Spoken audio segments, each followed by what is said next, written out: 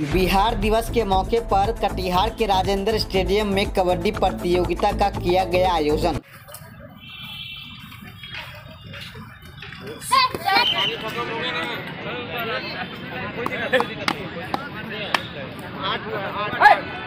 आपको बता दें कि कटिहार के राजेंद्र स्टेडियम में आज बिहार दिवस के मौके पर कबड्डी प्रतियोगिता का आयोजन किया गया था, जिसमें बालक और बालिका की टीम ने शिरकत किया था। वहीं बालक वर्ग में रामकृष्ण मिशन विद्यालय मंदिर प्रथम तथा हरिशंकर नायक उच्च विद्यालय द्वितीय स्थान प्राप्त किया।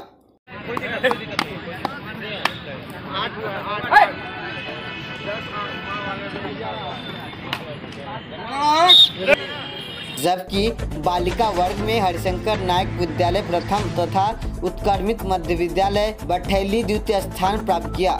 कबड्डी प्रतियोगिता के सफल आयोजन में तकनीकी पदाधिकारी के रूप में अमर प्रताप, सुनील कुमार, रोहित कुमार, रिया कुमारी, सोनाली कुमारी, मोहम्मद नदीम, विशाल, दीपू कुमार, ललन कुमार ने सफल भूमिका निभाई। साथ ही शारीरिक शिक्षक के रूप में प्रमोद कुमार सिंह, चंद्रकांत, गौतम, आदेश कुमार सिंह, रमेश कुमार शाह एवं सत्य प्रकाश ने सहयोग किए। वेट वेट वेट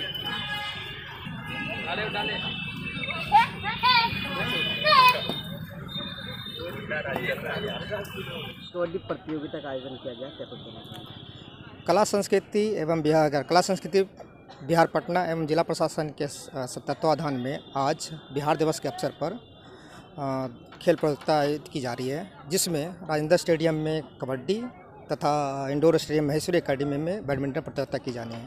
इसमें दोनों ग्रुप में मेल और फीमेल दो अलग अलग ग्रुप हैं। मेल में पुरुष वर्ग में चार टीम हैं और महिला वर्ग में भी चार टीमें हैं। ये आपस में आज पहले तो लीग खेलेंगे। लीग के बाद पश्चात सेमीफाइनल और क्वार्टर फाइनल जो भी होंगी उसके बाद जिन जो भी विनर्स होंगे दोनों अलग अलग ग्रुप में जो भी विनर्स होंगे उनको मेडल सर्टिफिकेट प्लस मोमेंटो उनको दिया जाएगा। कहाँ कहाँ के यहाँ पर जो टीम है दोनों बठेली की है हरिशंकर नायक की है एक मरवाड़ी पाठशाला की है अ, एक हरिशंकर नायक की टीम है और एक कबड्डी खेल कबड्डी संघ की एक टीम है ये लोग टीम है यहाँ पर जिला जिला स्तरीय सब जो है टीम है पहले भी खेल चुकी है और इन्हें आज अपने स्तर से मौका दिया गया है। आज कितने टीमों ने खेला? आज टोटल आठ टीमें पार्टिसिपेट करेंगी जिसमें चार पुरुष वर्ग के लिए चार महिलाओं के लिए।